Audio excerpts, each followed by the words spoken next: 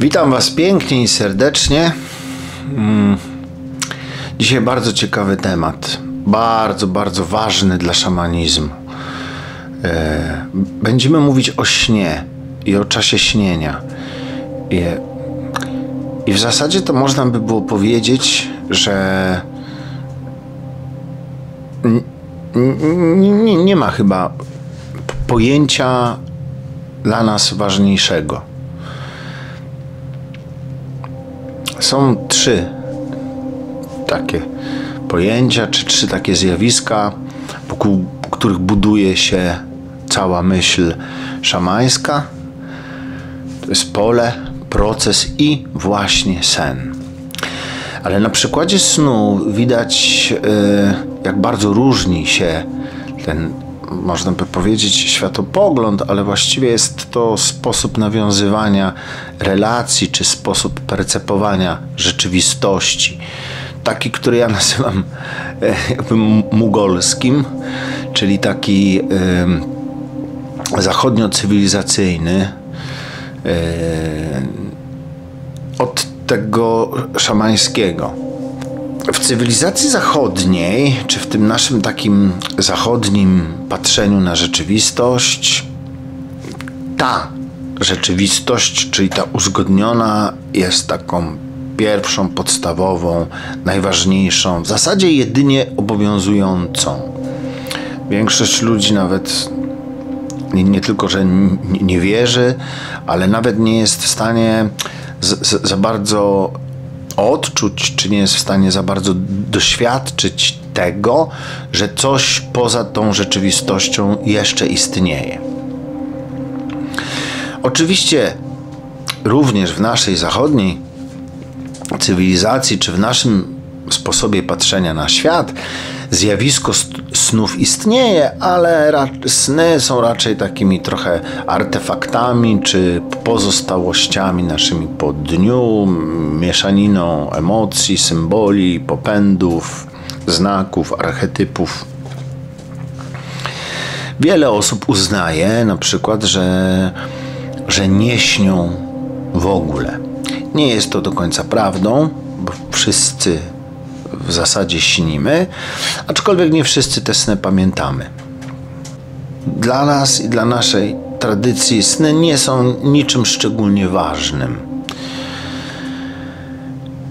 Dla tradycji szamańskiej zaś świat snów, czy ten czas śnienia, jest dużo ważniejszy niż ta rzeczywistość już przejawiona, czyli ta, która się wydarzyła. Dlaczego dużo ważniejszy? Dlatego, że ta rzeczywistość, z którą my obcujemy, z krainy snu czy z rzeczywistości snu się nie tylko wyłania, ale jest ten świat, jest śniony przez coś. No właśnie, przez co i co to znaczy, że jest śniony? Moglibyśmy sobie to wyobrazić tak. Każda jedna rzecz, którą widzę w tym pokoju i na zewnątrz też, zanim znalazła się tutaj, czyli zanim znalazła się w rzeczywistości przejawionej, w rzeczywistości uzgodnionej, tak będziemy tę rzeczywistość dotykalną i namacalną i pojmowalną zmysłami nazywać, to musiała się wcześniej pojawić w krainie snu, w czasie naszego śnienia. Zanim ten aparat, ta kamera, która dzisiaj przyszła, dziękuję bardzo wszystkim, którzy dzielnie kupowali mi kawki, bo za zbiórki z tych kaw mogę możemy mieć, mogę mieć tę kamerę tutaj, Ale zanim ona pojawiła się tutaj, czy zanim pojawiła się na świecie, mus, musiała istnieć jako sen, jako projekt, jako marzenie. Ktoś albo jakaś grupa osób musiała uwierzyć w to, że skonstruowanie czegoś takiego jest możliwe. Mało tego, musiała to najpierw zobaczyć w swojej wyobraźni. Musiało to równocześnie powstać w wyobraźni czy w czasie snu bardzo wielu osób, zanim się zmaterializowało. I tak jest w, w, myśl obserwacji szamańskich, tak jest właściwie z wszystkimi rzeczami. Wszystkie rzeczy, zanim się w naszym życiu przejawią, istnieją, czy już są obecne w czasie naszego snu. Zdaniem Arnolda Mindela, wielkiego badacza e, tradycji szamańskiej, ale też twórcy współcześnie psychologii zorientowanej na proces, my śnimy cały, cały, cały, cały czas. Czyli w śnie jesteśmy zanurzeni cały czas. 24 godziny na dobę jest w nas ten czas snu. A w tej rzeczywistości jedynie od czasu do czasu się logujemy. Więc jak śpimy, to zostaje tylko ta rzeczywistość snu, a w momencie, kiedy się budzimy, to jest ta rzeczywistość snu, która cały czas w nas jest, ale pojawia się też jakby efekt tego śnienia. Czyli to, co się materializuje pod wpływem naszego śnienia. Patrząc na to z tej perspektywy, to właściwie można by powiedzieć, że Bóg, Brahman, Shiva, źródło, cokolwiek, śni świat. I ten sen o świecie możemy sobie nazwać, czy nazywa się on czasem w tradycjach różnych, w tradycji greckiej logos, czyli to jest to słowo. Żeby jeszcze lepiej to sobie wyobrazić, mo moglibyśmy odwołać się do fizyki kwantowej i moglibyśmy sobie założyć, że, że, że jeśli by nam się udało spojrzeć czy popatrzeć na pole kwantowe, pełne możliwości, pełne potencjałów, jeszcze nie przejawione, bo nie skontaktowane z żadną świadomością, to to pole kwantowe jest takim snem.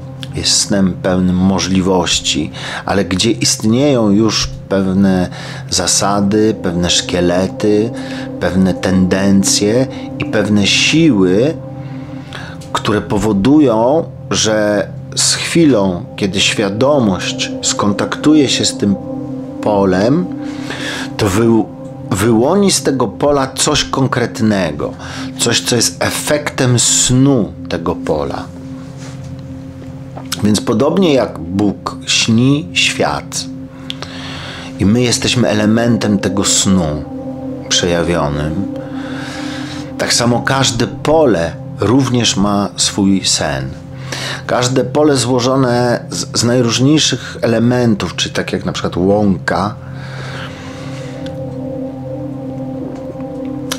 jest zanurzone w pewnej boskiej grze, wchodzi ze sobą w niepoliczalną ilość różnych związków, relacji, gier. Nad nad złożonością i synchronicznością tej gry czuwają nieprzejawione siły, które w tym polu się znajdują, które my nazywamy duchami. Są to siły sprawcze pola, które ale działające po stronie snu, po stronie nieprzejawionej, ale a stawką każdej takiej gry, w którą gra każde jedno pole, które znamy na świecie, również nasz organizm, nasz organizm też jest polem, stawką jest zawsze życie.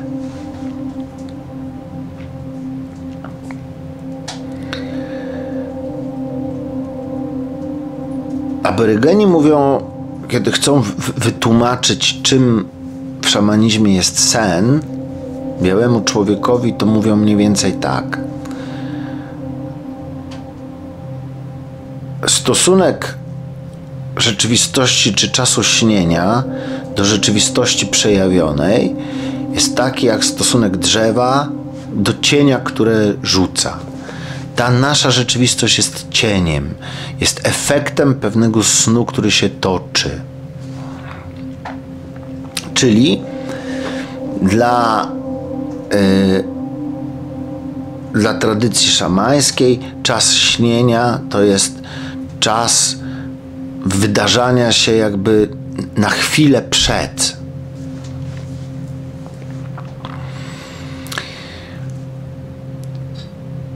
Z tym na chwilę przed szamanizm nauczył się właśnie kontaktować. I do tej rzeczywistości, do rzeczywistości snu, nauczył się wchodzić. I z tym, co tam się dzieje, co jeszcze się z tego snu nie wyłoniło, ale już jest obecne jako tendencje, bądź taoista by powiedział pewne siły, siły Tao, uczymy się pracować. Żeby pracować z tymi tendencjami, żeby pracować z tymi siłami, żeby wchodzić do królestwa naszej nieświadomości i dokonywać tam pewnych regulacji, pewnych zmian tych tendencji, a wiemy na 100%, że te dwa królestwa, czyli to królestwo nieprzejawione, czyli królestwo naszego snu i przejawione, czyli to królestwo rzeczywistości uzgodnionej, że one są ze sobą połączone. I my wiemy, bo my to sprawdzamy właściwie na co dzień i wiemy, że to działa, nie musimy tu w, nic wierzyć, że są połączone w takim stopniu, że dokładnie tak jak powiedział Jezus, cokolwiek tu złączycie, tam będzie złączone. Cokolwiek tam rozłączycie, to tu będzie rozłączone. Dlatego właśnie na, na, na, na granicy tych dwóch rzeczywistości, świadomej i nieświadomej, pierwotnej, czyli tej najgłębszej i wtórnej, czyli tej przejawionej, pomiędzy tymi światami znajduje się pewien próg, i na, na granicy tego progu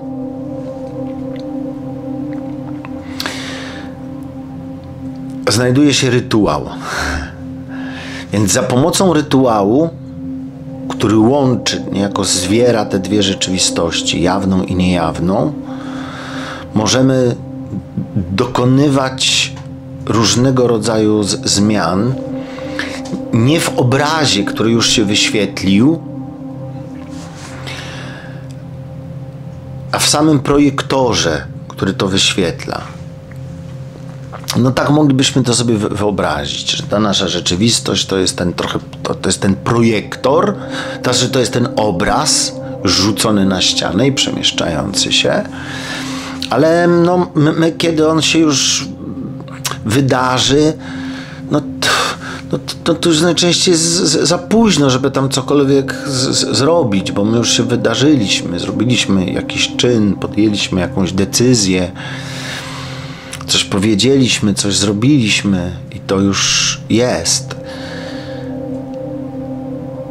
Więc wymyśl różnego rodzaju praktyk szamańskich, żeby dokonać zmiany w tym, co się wyświetla. Musimy zrobić krok czy dwa kroki do tyłu, zejść do krainy snu, czy do, do czasu naszego śnienia i tam dokonać pewnych korekt w samym tym projektorze, albo przeczyścić szkiełko, albo nawinąć na szpulę jakiś inny film, albo sp sprawdzić, jakie tam panują tendencje i je zmienić bądź odwrócić, i wtedy ten obraz, który będzie zacznie się nam wyświetlać w, w, w życiu, też po prostu się zmieni.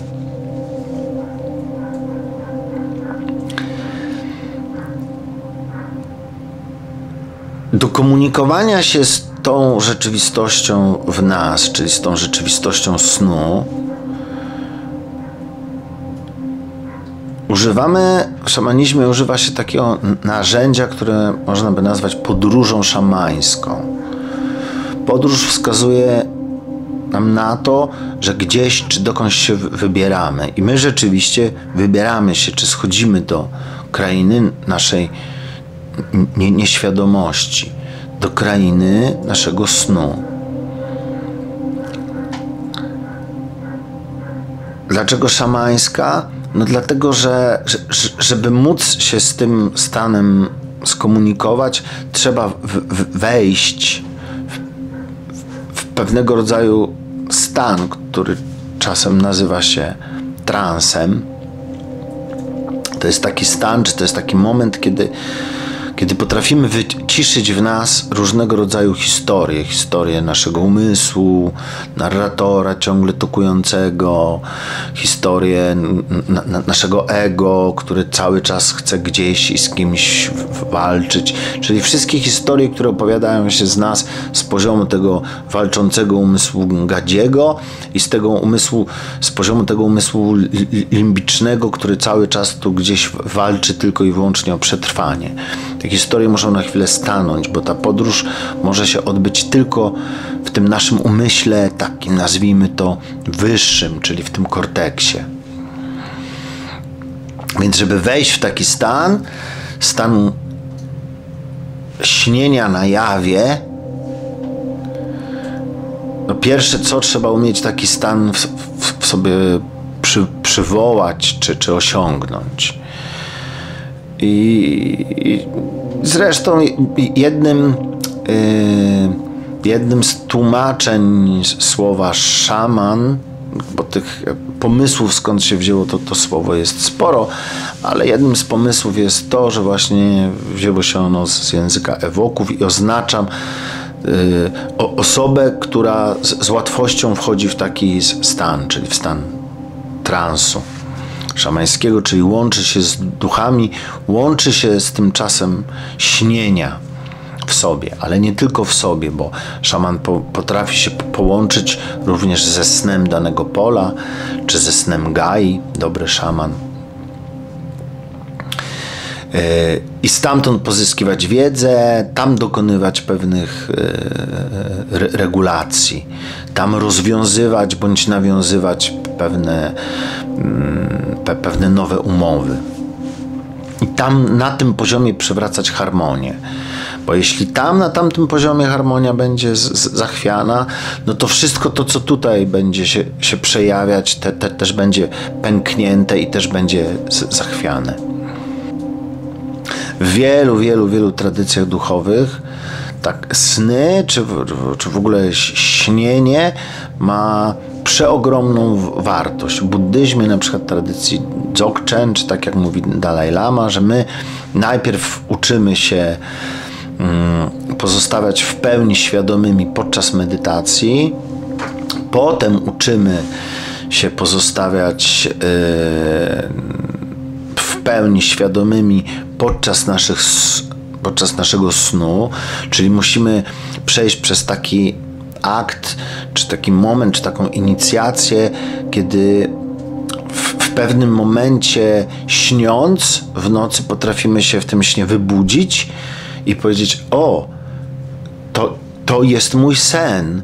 Jestem w swoim śnie, czyli jestem jakby zarówno widzem, jak i aktorem. Jestem śniącym i śnionym równocześnie. I ten moment, kiedy się w śnie swoim obudzę, przestaje być ta, takim momentem, kiedy zaczynam go śnić bezwiednie, tylko zyskuję pewną kontrolę nad tym snem, pewną możliwość współpracowania z nim, co nazywa się czasem świadomym śnieniem.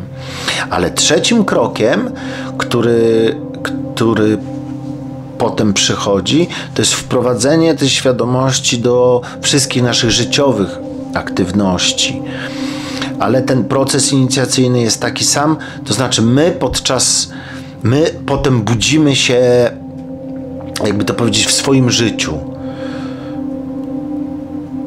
I również zdajemy sobie sprawę z tego, że to życie również ma postać pewnego snu. I moment, w którym się w nim wewnętrznie przebudzimy, to jest moment, w którym zyskujemy pewien rodzaj kontroli nad tym, co się nam śni. Możemy z tym snem współpracować.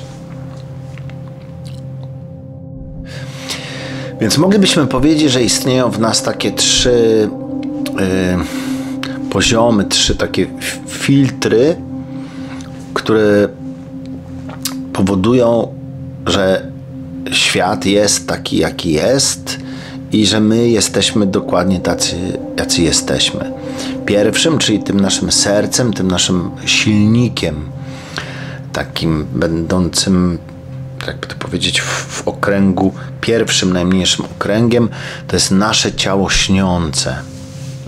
Nasze ciało śniące yy, to jest z, zbiór tego wszystkiego, co nas śni, czyli zbiór różnego rodzaju, można by powiedzieć, uwarunkowań od nas, od nas niezależnych. Tak, po pierwsze, dusza tutaj przychodzi z, z, z jakimś planem i z. przychodzi tu po jakieś do, doświadczenie, ale przychodzi tu też już z jakimś swoim zapisem. Yy, jakiś zapis czy jakieś elementy tego ciała śniącego są nam dodawane przez e, pewien kontekst rodowy, w którym się urodziliśmy, bo pewną i pewną ilość takich rzeczy dostajemy wprost od naszych przodków do przepracowania, czy do przerobienia, e, czy takich rzeczy, z którymi będziemy się zmagać. Jakąś część, czy jakąś mapę drogową, czy jakiś plan dostajemy w chwili, kiedy się rodzimy, bo ustalają to, to, to gwiazdy, różnego rodzaju koniungacje, czyli wielka tam maszyna e, losowa w, w jakimś sensie też dołącza coś do tego naszego ciała śniącego, plus do tego różnego rodzaju doświadczenia po drodze, które gromadzimy, zwłaszcza jako małe dzieci do, do 12 roku życia, powodują, że, że kształtuje się w nas ten silnik, to ciało śniące. I teraz możemy sobie wyobrazić, że to ciało śniące powoduje powstanie w nas jakiegoś snu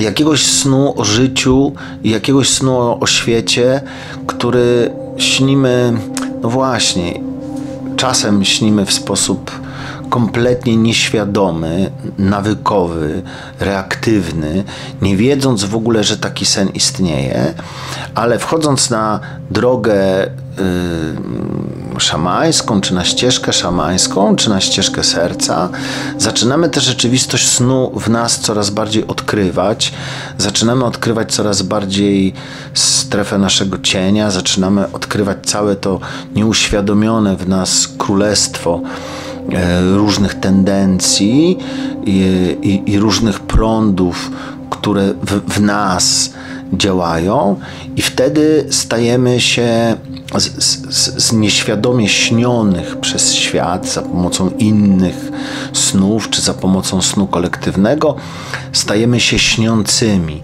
Śniącymi, czyli tymi, którzy są w stanie wyśnić dla siebie, wyśnić dla świata, wyśnić dla innych jakiś rodzaj y, rzeczywistości. Żeby tak się mogło zdarzyć, musimy się z tym światem snu w nas y, zaprzyjaźnić, musimy go, go rozpoznać. W Ewangelii y, jest to powiedziane mniej więcej w ten sposób, że jeżeli ktoś chce wejść do Królestwa Niebieskiego, jeżeli ktoś chce się stać śniącym, jeżeli ktoś chce, żeby te, te, te, cudowne, złote drzwi się w nas otworzyły, no to musi się stać trochę jak dziecko. Jak dziecko, czyli musi uruchomić w sobie funkcję wyobraźni i pewną ciekawość, wewnętrzną ciekawość dziecka. Dlaczego? Dlatego, że ten to królestwo naszej nieświadomości, które jest w nas, czy ten czas snu, jest dosyć oporny na coś, czym my się bardzo chętnie w życiu posługujemy, czyli jest dosyć oporny na myśli. Dlatego na przykład skuteczność różnego rodzaju afirmacji jest umiarkowana, o ile nie podąża, z, o ile nie podążają za nimi emocje czy uczucia.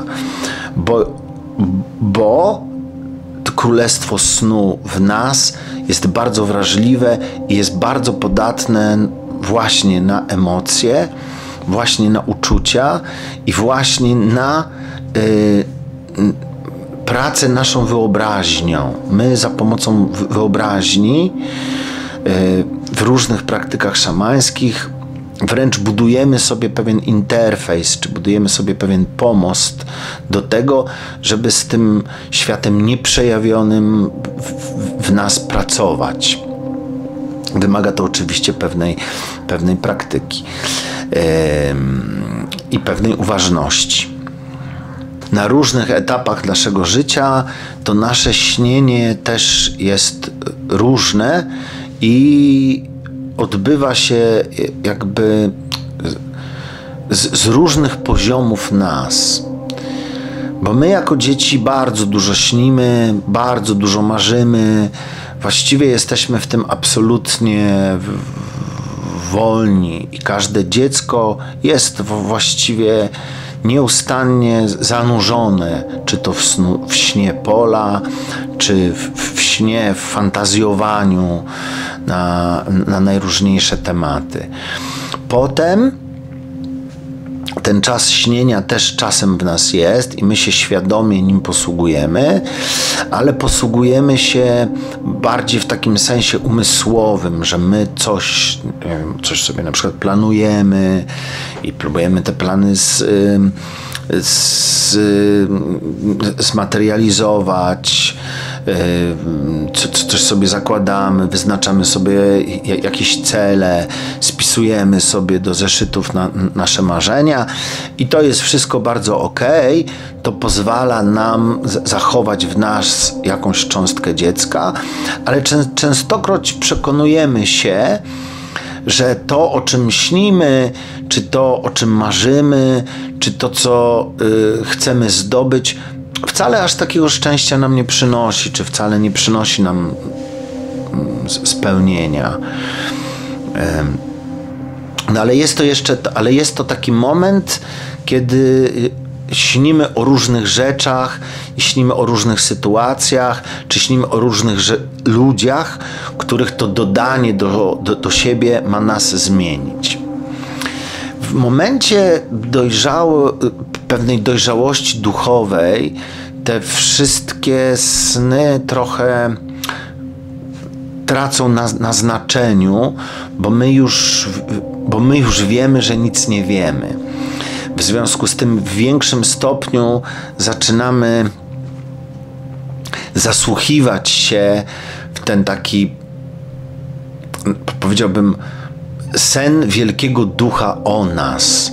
To jest taki etap związany z naukami orła i to jest taki etap na szamańskim kole zapisany czy nazywany czasem w niebo wstąpieniem. To jest ten etap, kiedy zaczynamy e, latać czy lecieć skrzydło w skrzydło z jednym duchem. Nauki orła mówią nam o tym, że że, że żeby latać, nie, nie, potrzeba jakoś strasznie, rozpaczliwie i bardzo dużo machać skrzydłami. Wystarczy znajomość i, i wiedza i wykorzystywanie różnego rodzaju sił, które działają w nas i wokół nas. W przypadku orła są to prądy wstępujące i prądy zstępujące.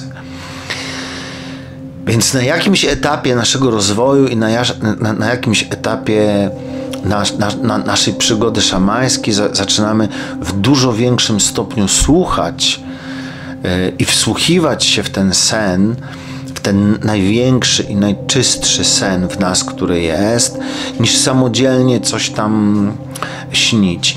I, i współpraca z tym właśnie snem daje nam na, najwięcej jakby satysfakcji, na, najwięcej radości i poczucie takiej tak, poczucie pełni i, i, spełnienia. I to jest moment, w którym odczuwamy, że, że w naszym życiu zaczyna działać, czy pojawiła, pojawiło się coś, co, co nazywamy czasem siłą wyższą, czy jakąś wyższą instancją. I wtedy, I wtedy stajemy się w pełni śniącymi. To jest ten moment, kiedy za, zaczynamy nie nakazywać co, co, coś duchom, nie, yy, nie ciągle je o coś, o coś prosić, czy nagabywać, czy się ich bać, tylko zaczynamy po prostu z nimi współpracować.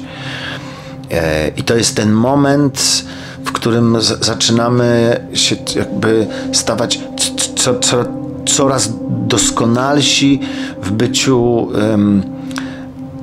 w życiu narzędziem e, dla czegoś, co chce się przez nas przejawić i co przez nas chce się prześnić i opowiedzieć jakby swoją historię.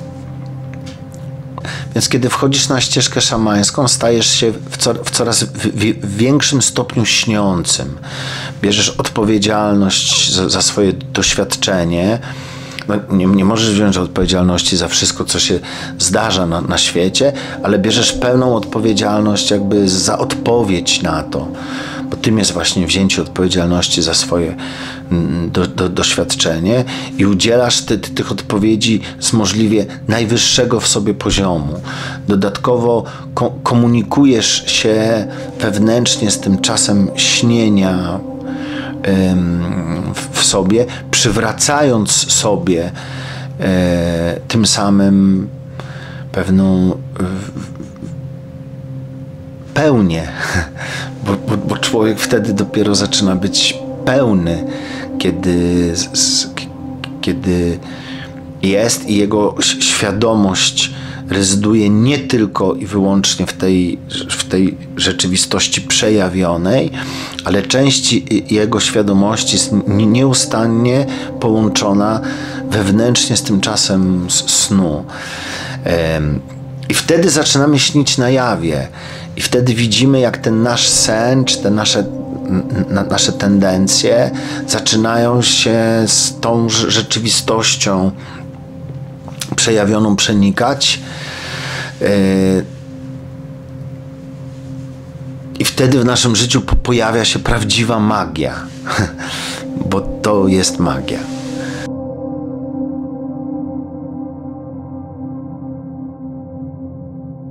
Dla buddyzmu takie skomunikowanie się z, z, naszym czasem śnienia, co ćwiczy się najpierw w medytacji, pod, potem podczas snu, a potem podczas wszystkich innych czynności i aktywności życiowych, nazywa się wielkim osiągnięciem.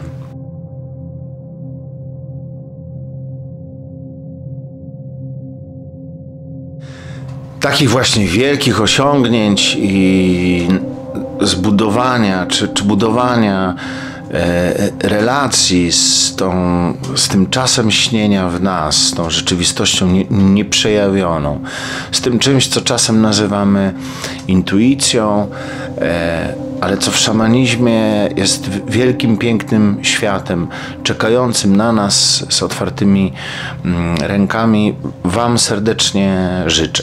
Jeśli ktoś chciałby taką relację budować wspólnie w kręgu razem, bo szamanizm wielką wagę przywiązuje do budowania, do budowania pola, do budowania społeczności, do budowania plemienia.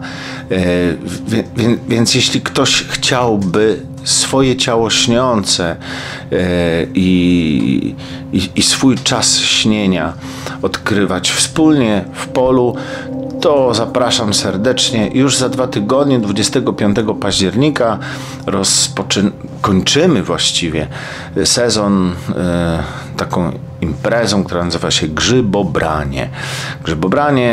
E, spotykamy się, żeby pozbierać amanitę, trochę ją posuszyć, trochę się czegoś o niej dowiedzieć, posiedzieć w kręgu, wspólnie pośnić lepszych siebie i pośnić lepszy świat, wspólnie popodróżować, wzmocnić y, się przed zimą.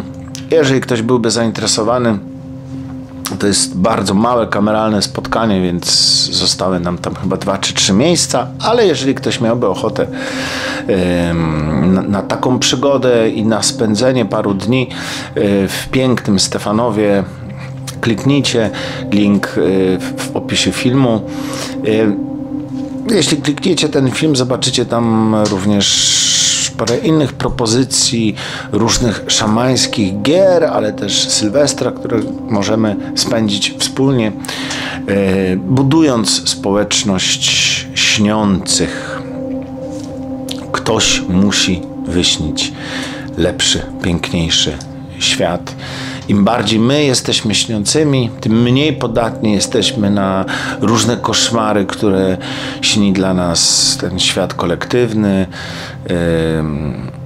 Dużo prościej robi się to czując za sobą wokół siebie w, w podobnie śniących braci i sióstr.